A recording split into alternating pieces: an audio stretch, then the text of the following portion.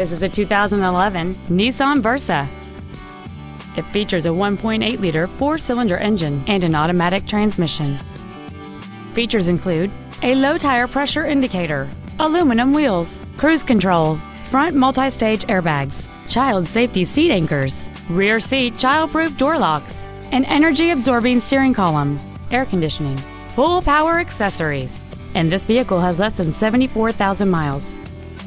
With an EPA estimated rating of 34 miles per gallon on the highway, this automobile does not compromise its fuel efficiency for size, comfort, or fun. Call or visit us right now and arrange your test drive today.